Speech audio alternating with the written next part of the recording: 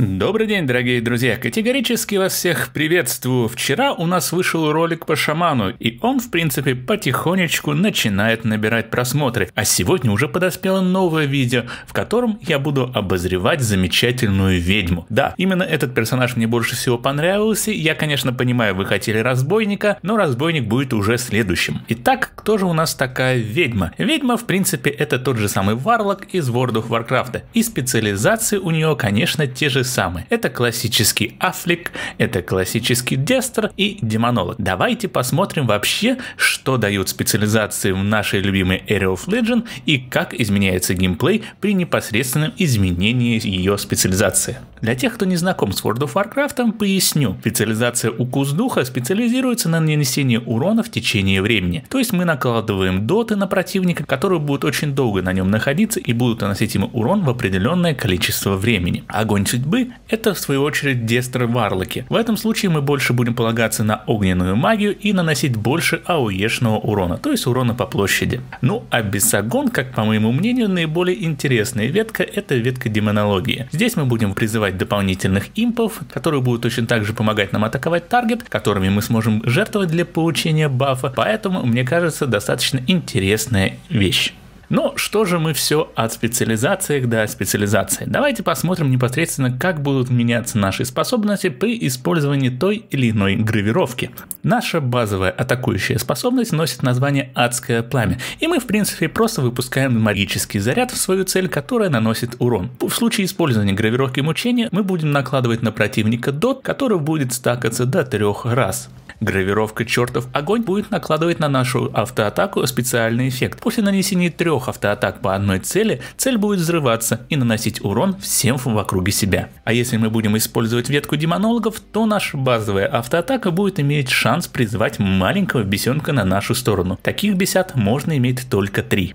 Наша первая базовая способность называется проклятие, и мы при помощи этой способности проклинаем своего врага, и он начинает получать урон в течение 10 секунд. В случае, если мы будем использовать Афлик Вет, то эта способность получит вампиризм, и мы будем получать здоровье за нанесение урона. А огненное проклятие, в свою очередь, будет накладывать эффект горения, который можно будет использовать непосредственно уже с другими способностями этой же самой ветки. Гравировка проклятия вселения будет жертвовать одним нашим бесом, но при этом значительно увеличивать увеличивать урон от этой способности. Вторая наша способность – воздаяние зла, и она тоже накладывает дот на противника. Гравировка круговорот увеличивает урон от этой способности и дает нам шанс наложения более сильного дота после того, как эффект круговорота закончится. Ликвидация увеличивает моментальный урон от этой способности и при этом увеличивает шанс критического срабатывания. Гравировка злого духа также будет жертвовать одним нашим бесенком и также увеличивать урон от этой способности. Дальше идет наш любимый пэт. При использовании этой способности мы будем призывать потустороннего духа, который будет сражаться на нашей стороне. После некоторого времени мы можем провести слияние с этим демоном и превратиться в свою демоническую форму. В этом случае мы потеряем все свои способности, но у нас будет одна мощная автоатака. При использовании этой способности с гравировкой потустороннего духа мы будем наносить 40% от своей атаки всем окружающим и при этом получим 10% вампиризм. Слияние с демоном при использовании гравировки нечестивое пламя будет наносить всем врагам в округе 150% магического урона, и наш шанс критического урона будет увеличен. Ну а если мы будем использовать гравировку дьявольских лад, то мы повысим свою магическую атаку, а также защиту. Далее идут способности для контроля. Способность ад наносит противникам урон и восстанавливает нам часть здоровья. При использовании этой способности в ветке Афлика урон от этой способности будет увеличиться за каждый негативный эффект на цели от нас, то есть максимум стакается до трех раз. Огненный ритуал будет наносить увеличенный урон, если цель будет гореть. Как вы помните, наш первый дот будет накладывать эффект горения, который как раз таки будет и поглощаться огненным ритуалом. Демонический танец будет призывать одного дополнительного беса при использовании. Область тьмы – это наша стандартная АОЕ способность. После использования этого заклинания мы нанесем урон вокруг цели. Гравировка укус духа будет дополнительно оглушать цели в радиусе своего действия. Гравировка огненной воронки стянет всех врагов в одну точку.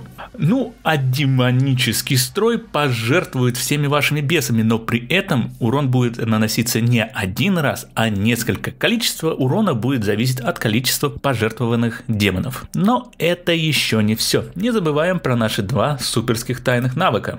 Поглощение душ позволяет нам нанести моментальный, достаточно мощный урон по цели. Потрясение души накладывает эффект страха на нашу цель, то есть эффект контроля. Мистическая бомба накладывает на цель дебаф, который будет получать урон, и после короткой задержки цель взорвется и нанесет урон всем противникам в округе. Порочное исцеление позволяет нам исцелить самого себя и при этом снять все эффекты контроля.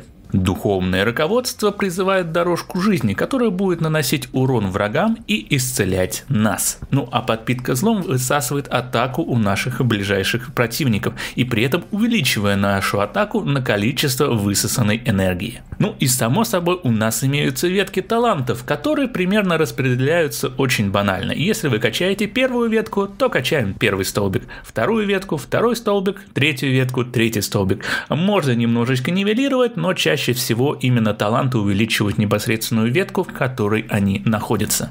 Итак, что же мы имеем в конце? Ведьма это просто бомбический дэмэдж дилер, у которой есть как урон по соло таргету через доты, так и ауешный урон, так и контроль. Просто очень сильный дамагер. Да, если у вас есть проблемы с отслеживанием бафов и дебафов на таргете, и вам трудно делать несколько вещей одновременно, как планировать кулдаун и всякое прочее, то, наверное, ведьма будет для вас сложна в освоении. Ну, это, конечно, и понятно. На ней стоит целых 4 звезды. Ну, а в том случае, если вы хотите наносить действительно очень сильный урон как в PvP, так и в PvE, то ведьма это определенно ваш выбор. Надеемся, вам понравился этот обзор, и вы обязательно будете ждать обзор следующего класса. Всем большое спасибо за просмотр, дорогие друзья, и до новых встреч!